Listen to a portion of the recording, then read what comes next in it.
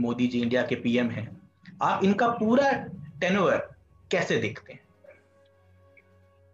देखिए, नरेंद्र भाई जब यहाँ गुजरात के मुख्यमंत्री बने, तब से लेकर आज तक का मैं उनका दो ही चीज़ समझता हूँ।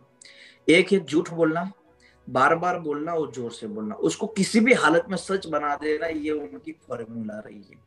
दूसरी प्रचार प्रसार जितना भी पैसा हो, पैसा पानी की तरह उसको बहाया जाएगा और आपके पास जो दस रुपए की चीज़ है, उसको एक लाख रुपए में हाईलाइट करके दिखाया जाएगा।